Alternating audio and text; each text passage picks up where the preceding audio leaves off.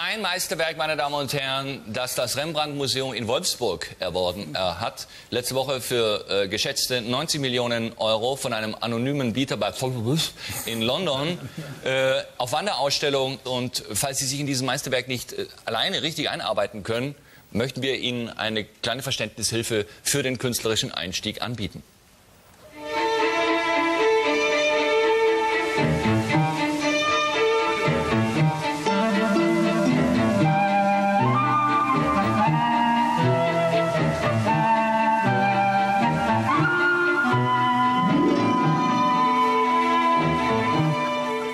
Das Bildnis Die Hatz von Wolfsburg besticht durch eine verwendete Dynamik. Die enigmatische Anonymisierung der Kernfiguren formuliert einen dramatischen Subakkord idiosynkratischen Grimms. Es zeigt den Sportler Stefan Effenberg in seinem Mittelklasseviertel.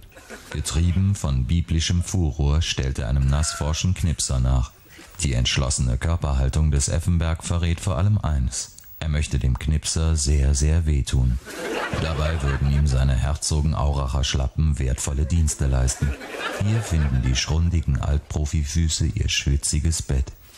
Die preiswerte Funktionshose aus Elastan mit aufgesetzten Pattentaschen verweist auf das karge Salär eines Wolfsburger Mittelfeldkaspers. Ihm zur Seite, leicht versetzt, eine energische Blonde in der Nachhut. Ihre kräftigen Schenkel bezeugen das harte Los eines Bundesliga-Wanderpokals. Auch die Strümpfe dürstet nach dem warmen Blut des Knipsers.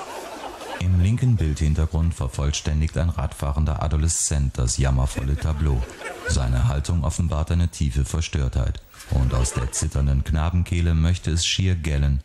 Na prima, jetzt wohne ich wirklich in einem Assiviertel.